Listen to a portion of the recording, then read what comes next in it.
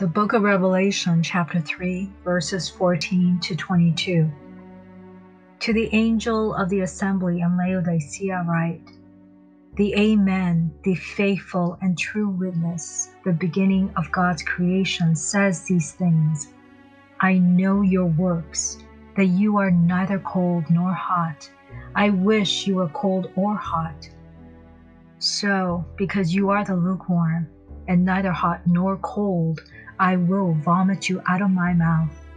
Because you say, I am rich, and I have gotten riches, and have need of nothing, and don't know that you are the wretched one, miserable, poor, blind, and naked.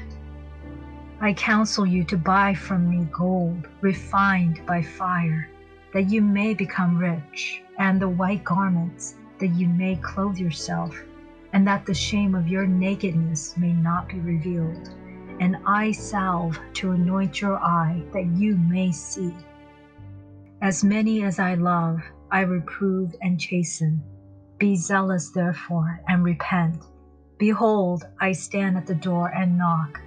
If anyone hears my voice and opens the door, then I will come into him, and will dine with him, and he with me.